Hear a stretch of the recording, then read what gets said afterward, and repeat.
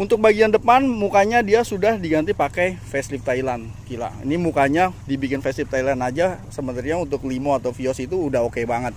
Ditambah warnanya dan menurut gua ini yang bikin mahal adalah dia warnanya British Racing Green.